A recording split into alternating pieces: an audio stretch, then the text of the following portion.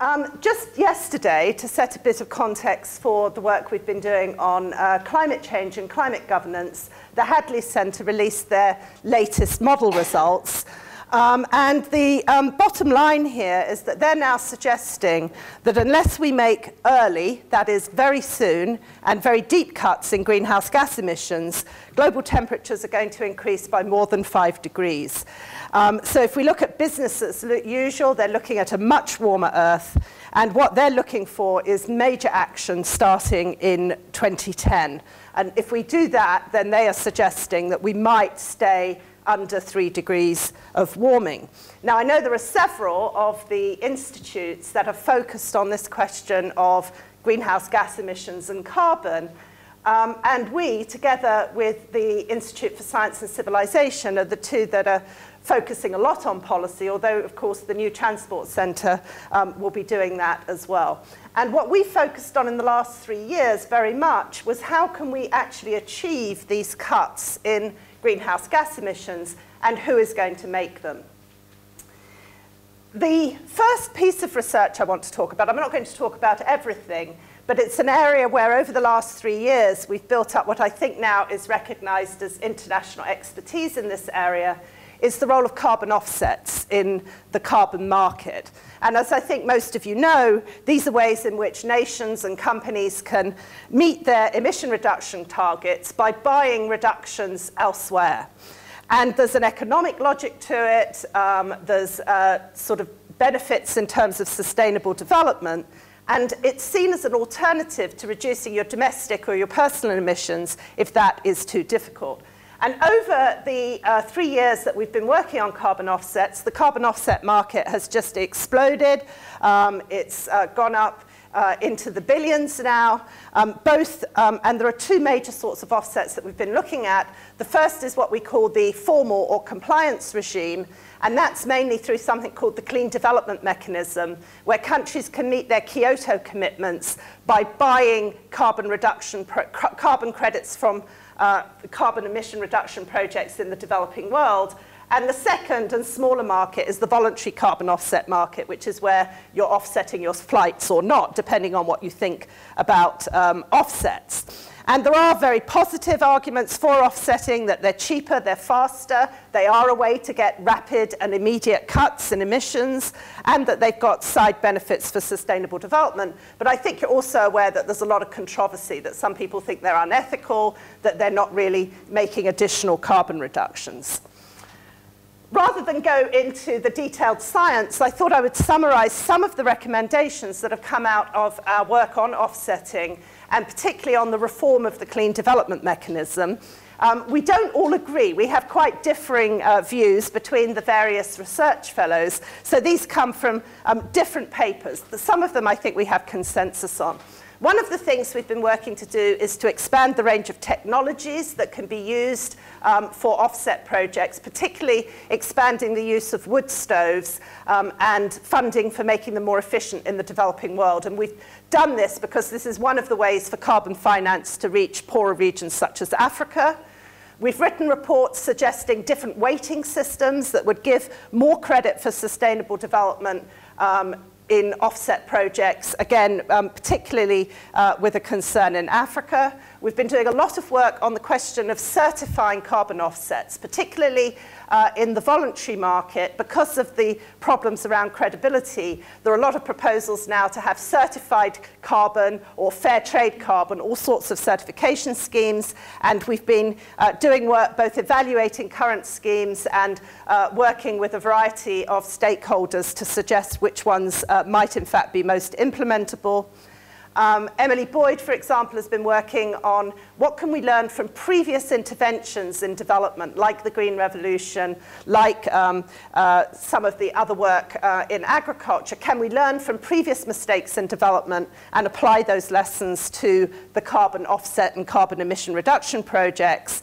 And then one of the new areas we've been looking at is how you can have a sort of win-win-win, where you could have a mitigation, a carbon reduction project that also helps you with adaptation to risks of climate change and will also help with poverty alleviation. So we've got a set of projects in Central America right now looking at that issue. Um, there's some larger um, issues uh, beyond sustainable development, um, which are very important in terms of the offset market. And um, to bring that very close to home, there's a UK climate bill whereby um, the UK is committed or will be committed to a 60 to 80% reduction in emissions. That will partly be done through Malcolm's new car and the work that Dave and Malcolm are doing, but it's pretty clear that it's going to be quite hard for the UK to do that without buying carbon offsets. But they have not yet decided what percentage of the UK emission reductions will be able to be met through offset projects. And several of um, uh, my fellows have been, um, and myself have been talking to the government about what they might do and the climate committee. Um, we're doing some work on expanding the CDM to focus on particular sectors, and that is particularly work that Jimin Zhao's been doing in China. Very exciting and very powerful possibilities for large-scale energy transitions in China. Um, we, and um, then um, one of the questions we've been talking about this week is whether the uh, recession and the financial crisis is actually going to mean that everybody makes their emissions domestically, in which case the offset market might collapse, and that might be a good thing, or it might be something that's going to be a problem in terms of the north-south bargain on development. Um, the final thing that we've been looking at is the question of carbon credits for avoided deforestation. At the moment, you can't get carbon credits for um, protecting your forests. You can only get them for growing a new forest.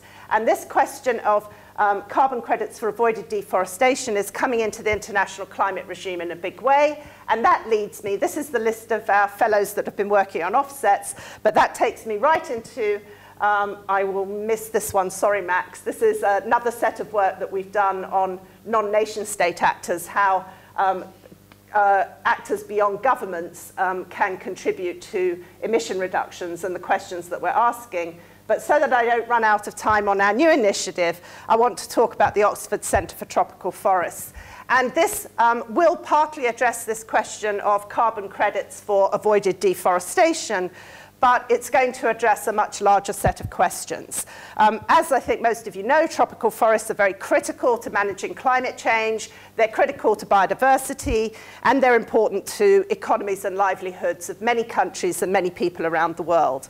And with funding um, for some posts and some visitors and some events from uh, the 21st Century School, um, we um, are going to establish the Oxford Centre for Tropical Forests with the participation of people across the university and beyond. We want to expand the expertise in tropical forest research on Oxford with a very um, strong sort of international mission to inform both both tropical forest science, but also policy and implementation with regard to tropical forests worldwide. Um, we're going to coordinate the centre. Um, the um, co-director, and in fact the main person next year will be Yadvinder Malhi, who I think some of you know. He unfortunately couldn't be here today. And the 21st Century School is one of the partners in this, but it's playing a very critical role because the 21st Century School is funding us to add social science and economic expertise to what is a very, very strong natural science core of research already at Oxford. Uh, just to give you a sense of who the partners are, in addition to ECI, which will play the coordinating role, we've had very, very positive response from zoology and plant sciences, um, we've um, been working with the Smith School, with geography, with international development and anthropology to establish the university-wide initiative. But we're trying to make this not just university, there are also a number of very, very key stakeholders who are based in Oxford in questions of tropical forests. So Ecosecurities is the biggest carbon credit developer around forests in the world. Um, we have ProForest, which is one of the best consulting groups for the private sector, and then we're also working with a number of NGOs based in Oxford. Um, the key themes for the centre, I'll let you read those because um, you can do it faster than I can say them, but we're looking at a very wide range of issues around tropical forests, biodiversity, ecosystem services, can quantifying the value of a tropical forest be a way to protect it by marketing the services provided by forests, Satellite monitoring is an important thing, and I, we just had very exciting news that it looks as though we're going to be asked to coordinate part of what's called the Global Thermometer for international, um, uh, a big international initiative. We're going to be looking at governance and policy, sustainable development, the economics of forests, and the relationship between forests and climate change. And what we're doing, uh, launch of the centre will be uh, in a month. Uh, we're hiring two fellows. Uh, we're doing a lot of mapping of what's already going on. Um, we started this, what's already going on at Oxford. We're going to have events around tropical forest issues, sabbatical visitors. Uh, we've already established our steering committee. And we've got some ideas about how we'll link to the rest of you. Obviously, the forests are part of the carbon cycle, so we'll link to those. But there are also human dimensions of forests that we think link to a number of the other centres. Okay? Thanks.